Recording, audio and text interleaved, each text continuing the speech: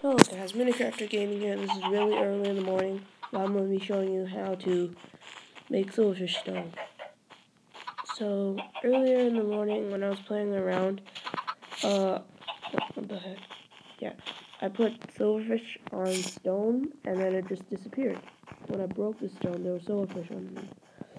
So, that's how I figured out how to make silverfish stone. So, it's really easy. What you're going to do is going to put just put silverfish stone on most types of stone. I don't. It doesn't work for moss stone. I don't think. See if I aggro one, other ones should start appearing out of there. See? And this is no jailbreak and no mods. And this is really annoying.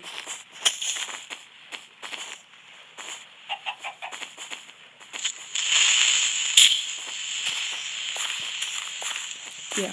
So thanks for watching guys. Please subscribe. I'll be doing a lot of more videos now.